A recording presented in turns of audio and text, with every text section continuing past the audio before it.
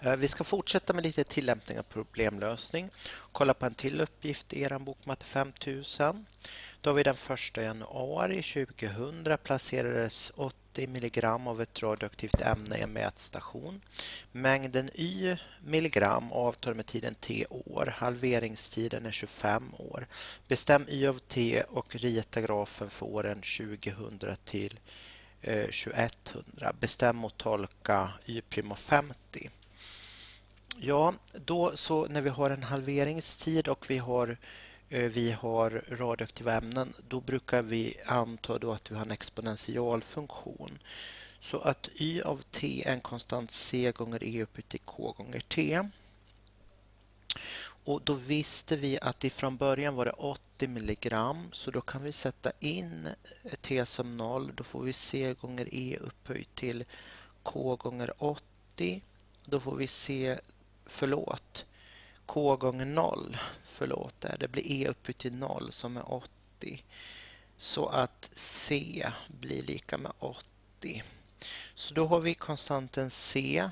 Det här begynnelsevärdet kommer ju alltid då att bli den här konstanten först, c, exponentialfunktionen. 80 gånger e upphöjt till k gånger t. Sen måste vi bestämma k. Och då vet vi att eh, halveringstiden. Tid är 25 år.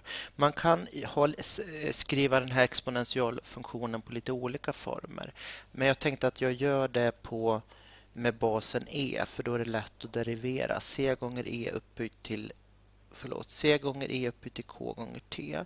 Sen sätter jag in att efter 25 år så är hälften kvar. Och eftersom vi börjar på 8 80, då är hälften 40.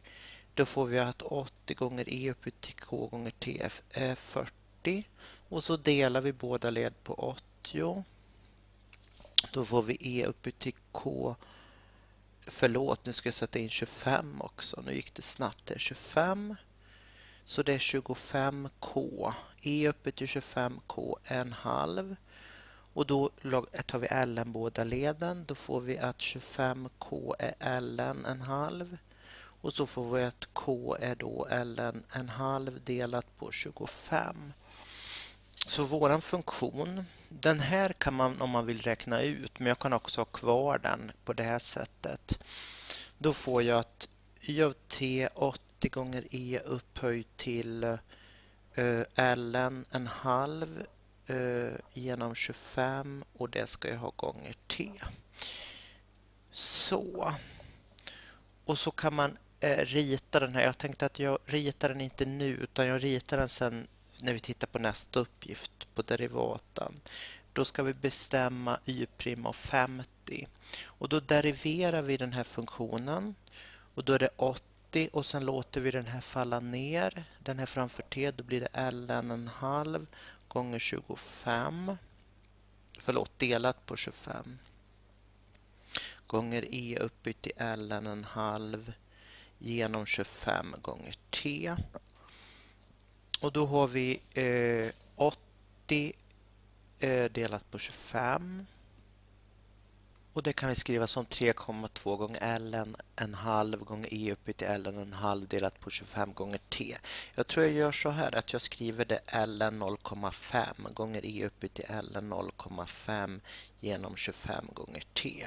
Nu skulle vi sätta in eh, y prim av 50 och då hade jag 3,2 Måste kolla vad jag hade här för någonting tre, jag hade, jag hade mm, 3,2 gånger ln 0,5 3,2 gånger ln 0,5 gånger e upphöjt till ska vi se här nu då vad jag hade. Jag hade um, ln 0,5 delat på 25 gånger t.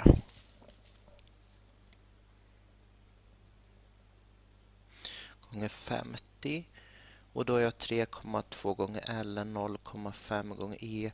Eh, 50 genom 25, det blir 2 så det blir 2l 0,5. Och så räknar jag ut det här då med, med GeoGebra. Så då har jag 3, 3,2 och sen har jag ln 0,5 gånger e upphöjt till 2 ln 0,5 och då får jag minus 0,55 eller minus 0,6. Så då vet jag att y' av 50 är minus 0,6. Och sen skulle jag tolka det här. Och det är alltså att eh, är y' av 50 efter 50 år avtar ämnet, det radioaktiva ämnet. ämnet med ehm, 0,6 milligram per år. Så. Då ska jag avsluta med en uppgift som handlar om en kon. Eh, då har vi då den här konen som då ligger i kurvan, har punkterna på kurvan y är lika med 4 minus x upphöjt till 2. Och vi ska uttrycka konens volym v som en funktion av y och x. Och då så har vi konens volym är radien upphöjt till 2 pi gånger höjden delat på 2. Och här vet vi att om vi tittar här så blir ju radien då x-värdet. Det här är en punkt då på den här kurvan pxy. Så att radien är x-värdet. Eh, höjden är ju y. Så volymen blir ju x kvadrat pi y delat på 3. På B då ska vi, eh, vilket samband finns mellan x och y? Ja, vi vet ju att sambandet mellan x och y är att y är 4 minus x i kvadrat. Uttryck v som funktion av v som funktion av x.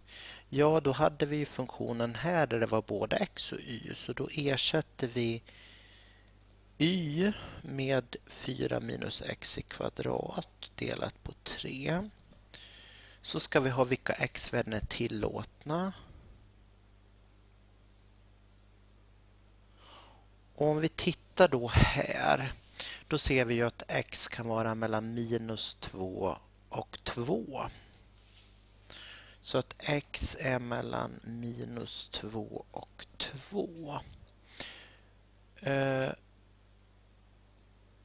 Och sen ska vi undersöka volymen med derivata eh, och bestämma volymens största värde. Så då har vi x i kvadrat pi gånger 4 minus x kvadrat delat på 3. Och då deriverar vi den. Vi låter pi och sen 3 stå kvar. Och då flyttar vi ner tvåan. Då får vi 4 gånger 2. Det blir 8. 8x minus 4x upphöjt till 3. Och sen ska vi sätta derivatan lika med 0. Så då gör vi det. I det här fallet har inte 3 någon betydelse. Så vi kan multiplicera båda led med 3 och dela med pi. Då får vi 8 8x minus 4x upphöjt till 3 är 0. Och sen kan vi dela på 4 här. Så. Sen kan vi även dela på eh, 4 här så att vi får den här ekvationen. Och vi kan bryta ut x ur båda så vi får x gånger 2 minus x i kvadrat är 0. Och då kan x vara 0 eller 2 minus x i kvadrat lika med 0. Och här blir ju då x plus minus roten ur 2. Om vi sätter in de här värdena i våran eh, andra derivat så ser vi att det blir negativt. Så det här är maximipunkt. Så då ska vi beräkna största värdet. Så då sätter vi in det här i roten ur 2 i funktionen. Och då får vi pi och sen får vi 4 gånger roten ur 2, det blir 8. Minus roten ur 2 upphöjt till 4, det är roten ur 2 upphöjt till 2 upphöjt till 2, då blir det 4. Och så delat på 3. Och då får vi 4 då får vi 4 pi delat på 3 som svar.